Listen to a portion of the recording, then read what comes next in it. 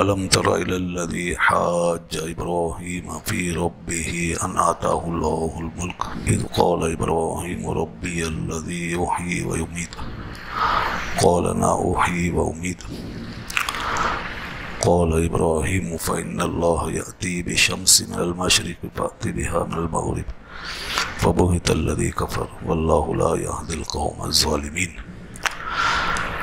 صدق الله العلي العظيم وبلغنا رسوله النبي الكريم ونحن على ذلك لمن الشاهدين والشاكرين والحمد لله رب العالمين اس آیت میں اور اس کے بعد والی ایک دو آیتوں میں اللہ تبارک و تعالی نے اب تین واقعات کا ذکر فرمایا۔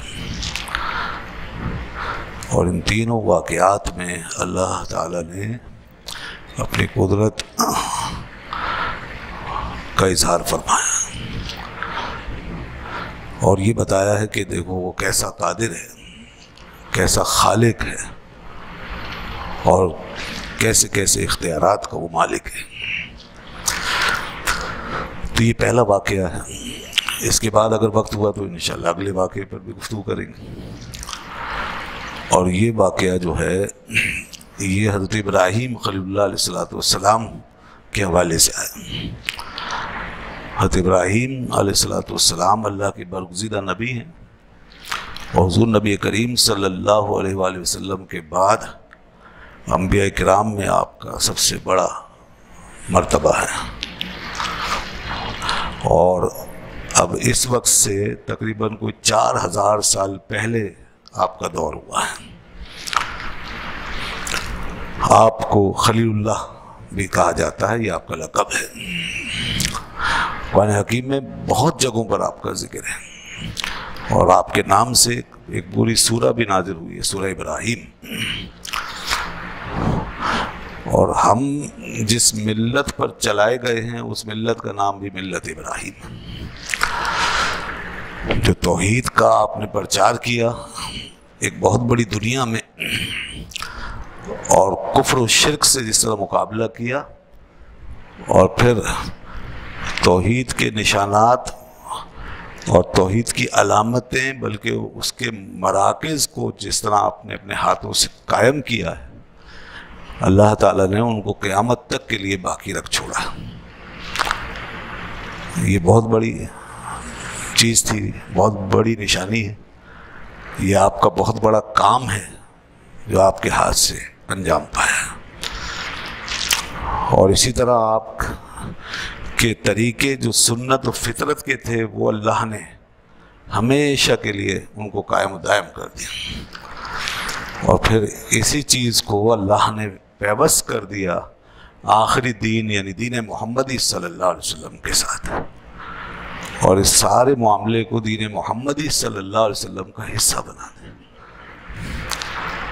حضرت ابراہیم کے قائم کردہ مرکز کو اللہ نے اسلام کا مرکز بنا دیا اور ان کے ہاتھوں سے بنائے ہوئے کعبے کو اور اس عمارت کو خانہ کعبہ قرار دیا اور ہمارا قبلہ اول، ہمارا قبلہ ثانی، قیامت تک جو قائم رہے گا وہ قرار دیا۔ اور اسی طرح آپ کی یادیں بیت المقدس کے ساتھ بھی وابستہ ہیں۔ جو قبلہ اول تھا۔ اور وہاں بھی آپ کے آثار ہیں، آپ کا کام ہے اور آپ کا وہاں پر فیض ہے۔ اور اسی لیے جب ہم اس ملت سے جوڑ دیے گئے تو اب قبلہ اول ہو یا ثانی، دونوں کا تعلق اس امت سے بن گیا۔ اور پھر سارے جو، اس وقت ساری جو قومیں ہیں، چاہے وہ دعوے دار ہیں حضرت ابراہیم کے کی اطاعت کی یا ان کی پیروی کی یا ان سے اپنی کوئی نسبت وہ بیان کرتی ہیں، تو وہ سب کلدم ہو گئیں۔ ان کے دعوے کلدم ہو گئے، ان کی نسبت کلدم ہو گئی اور یہ ڈائیورٹ ہو گیا سارا سلسلہ۔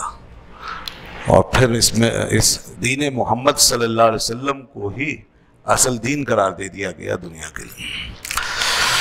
اور پھر یہ بھی فرما دیا کہ اب ابراہیم کے قریب وہ لوگ ہیں جنہوں نے ان کی صحیح پیروی کی اور یہ نبی ہیں۔ بہاد نبی یو ولدین امن اور اس نبی کی پر ایمان لانے والے جتنے لوگ قیامت تک آئیں گے، وہ بھی سب ابراہیم کے قریب ان اول الناس ان اول الناس بھی ابراہیم للذین اتبعوه۔ کہ ابراہیم کے قریب وہ ہیں جنہوں نے ان کی سچی پیروی کی اور یہ نبی وحاد النبی والذین آمن یہ نبی صلی اللہ علیہ وسلم اور ان کے پیروکار۔ یہ جوڑ دیا آپس تو اس لیے ہماری کتاب میں بار بار سیدنا ابراہیم علیہ السلام کا ذکر ایک بالکل منفرد انداز میں آتا ہے۔ اور نبیوں کا بھی ذکر ہے۔ مگر ابراہیم علیہ السلام کا ذکر کسی اور طریقے سے آیا ہوا۔ ان کی مرکزیت کو بار بار ابھارا گیا۔ ان کی ملت کو بار بار کوٹ کیا گیا ہے، اس کو اس کو سامنے لایا گیا۔ اور ان کے واقعات کو بیان کیا گیا۔ تو بہرحال یہ ایک حقیقت ہے۔ یہ ہمارے ذہنوں میں ہونی چاہیے۔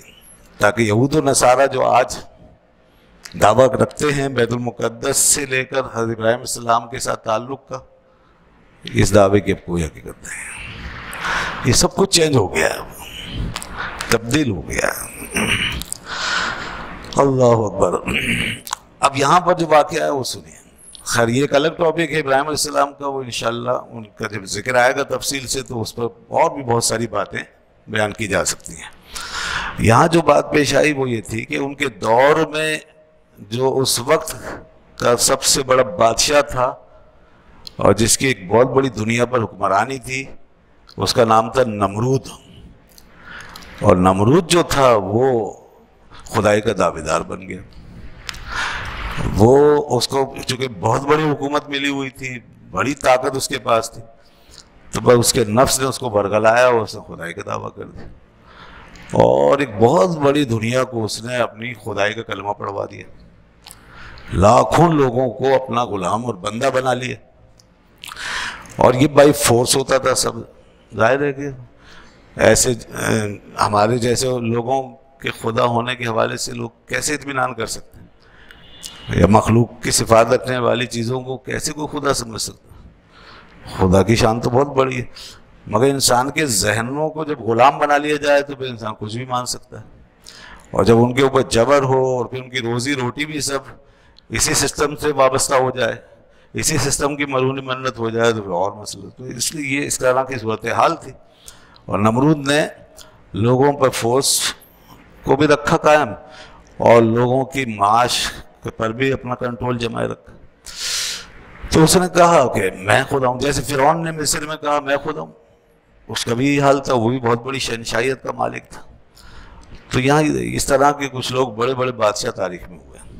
اور چھوٹے موٹے تو بہت سے لوگ ایسے ہوئے ہیں جنہوں نے یہ سمجھا۔ اور بہرحال جہاں نفس ہوتا ہے، تو نفس جو ہے وہ ادھر ہی لے کے جاتا ہے۔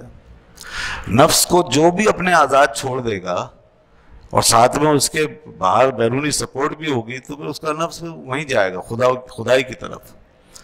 اور ہر انسان میں نفس موجود ہے۔ مگر چونکہ انسان کو بہت سے وسائل حاصل نہیں ہوتے، ایسی شہنشائیت نہیں ملی ہوتی، اس لیے وہ اس طرح کی باتیں نہیں سوچ سکتا۔ مولانا روم رحمۃ اللہ علیہ نے اس کی طرف اشارہ فرمایا فرمایا، نفس ما کمتر از فرون نیست، لیک اورا اون مارا اون نیست۔ انہوں نے فرمایا کہ ہمارا نفس بھی کسی فرعون سے کم نہیں ہے۔ بس فرق یہ ہے کہ اس کو مل گئی مدد، اس کو مل گئی حکومت، سلطنت، بادشاہ، اور ہمارے پاس یہ چیز نہیں۔ تو ویسے ہم اپنے، اپنی سطح پر اگر رکھ کر دیکھیں، تو ہمیں بھی جب کوئی زیادہ وسائل حاصل ہو جاتے ہیں، بڑی طاقت واقت مل جاتی ہے، تو ہمارے اندر بھی بڑے اونچے اونچے خیالات پیدا ہونے لگتے ہیں۔ انسان میں سب سے پہلے جو چیز جلوہ گر ہوتی ہے، وہ ہوتا ہے اپنی میں کا احساس۔ میں، یہاں سے ساری بات شروع ہوتی ہے۔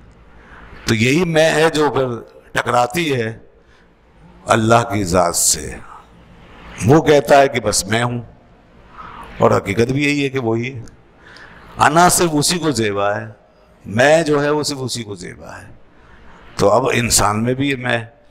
جب انسان میں میں جاگتی ہے، تو یہیں سے پھر انسان اپنے رب اور اپنے خالق و مالک کے مقابلے میں آنا شروع ہو جاتا ہے۔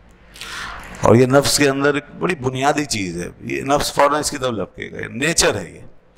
نفس کی نیچر ہے کہ وہ میں ہی سے بنا ہے۔ اس کے اندر سیلف فوڈ ہے۔ سیلف فوڈ کے بغیر نفس کو نفس عربی میں لفظ نفس جو ہے، یہ ذات کو بھی کہتے ہیں۔ اس کے معنی خود ذات، بے نہیں اسی معنی میں آتا ہے۔ جیسے کہتے ہیں بے نفس ہی مطلب بے نہیں تو یہ لفظ نفس جو ہے یہ یہ اپنی سیلف کو ریپرزینٹ کرتا ہے. انا کو. یہ اللہ نے رکھی ہے انسان کے اندر.